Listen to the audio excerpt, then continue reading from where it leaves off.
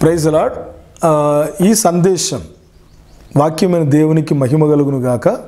హిందూ మత నమ్మకమును బైబిల్ గ్రంథమును అన్నటువంటి హెడ్డింగ్లో మనం ధ్యానం చేయబోతున్నాం. మాట్లాడుతున్నది అపోస్తులుడు ఫ్రాన్సిస్ జగన్ హైదరాబాద్. వాక్య ఆలయం మెదక్ నుండి నేను మాట్లాడుతున్నాను. గాయత్రి మందిరం అన్నటువంటి కార్యంను మనం ధ్యానం చేయబోతున్నాం.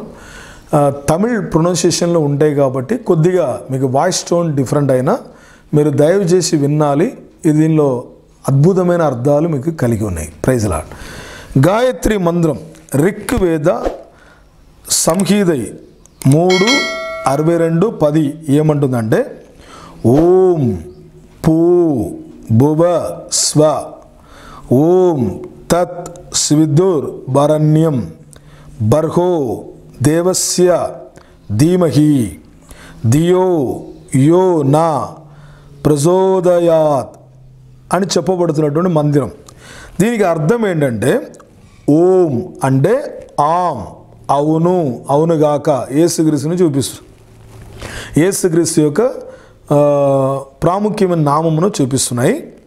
పూ పూ అంటే భూలోకము భూమి భువ భువ అంటే భువర్లోకం భువర్లోకం అంటే మొదటి ఆకాశం దానికి సంబంధించినవి. స్వ స్వ అంటే స్వర్లోకం. స్వర్లోకం అంటే రెండో ఆకాశం గ్రహణాలు దానికి సంబంధించినవి. దత్ దత్ అంటే అంద దత్ అంటే అది. స్విదు సరే సవిదు. దేవుని యొక్క వరణ్యం పొగడగలిగే పర్గు వెలుగును. దేవస్య మెరుపు ధీమహి. ధ్యానం చేదుముగాక ధియ తెలివి యా ఎవరు నా మనం యొక్క ప్రజోదయాత్ ప్రేరేపించబడిన వారు. ఓకే ఇది దీనిలో ఉన్న ఒక్కొక్క అక్షరాలకు అర్థం చెప్పాను. దీని యొక్క సారాంశం సారాంశం ఏంటంటే దీని యొక్క గాయత్రి మంత్రముకి యొక్క సారాంశం. ఎవరు మన తెలివిను గ్రహింపులు నడిపిస్తారో ఆ వెలుగు దేవుని యొక్క హెచ్చింపబడదగిన వెలుగును ధ్యానిందుము అని దీని అర్థం అన్నమాట. అయితే ఇది ఉపనిష్ మందిరంలో ఎన ఎనభై ఐదు మందిరం అన్నమాట.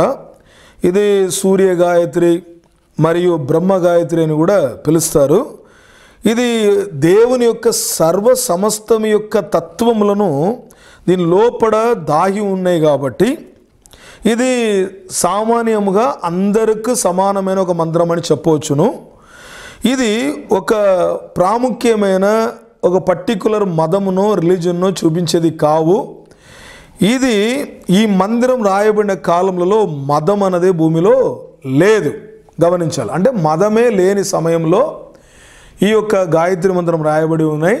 ఆ సమయంలో హిందూ మతమనియో క్రైస్తవ మతమనియో యూద మతమని ఏ మతం లేదు. మతం అంతా వచ్చినది కొన్ని కాలం ముందు వరకు అనమాట అయితే ఇక్కడ రాసినటువంటి సిద్ధ ఏమంటుండంటే ఋషులు ఇది మతం సంబంధించిన దానికంటే మించినది. అంటే అప్పుడు ప్రారంభం నుంచి ఉన్న దేవుని దేవుని యొక్క ప్రాముఖ్యమైన మందిరం అని చెప్పబడుతున్నాయి. అంటే దీని మళ్ళీ ఒకసారి మీకు నేను చదివి వినిపిస్తాను. దేన్ని చూపిస్తుందో? ఎవరు దాని సారాంశం? ఎవరు మన తెలివిను ప్రేరేపిస్తారు? ఇది ఎవరు? పరిశుద్ధాత్మ దేవుడు. ఆ వెలుగు దేవుని ఆ వెలుగు దేవుని వెలుగు దేవుని దేవుడు అంటే ఏంటి? మొదటి యోగాన్ సువార్త మొదటి అధ్యాయం నాలుగు వచనం యేసుక్రీస్తును చూపిస్తున్నాయి. హెచ్చింపతగిన వెలుగును ధ్యానిద్దుము. హెచ్చింపతగిన వెలుగునంటే వెలుగు దేవుడి నుంచి బయలుదేరి వచ్చేది ఏంటి?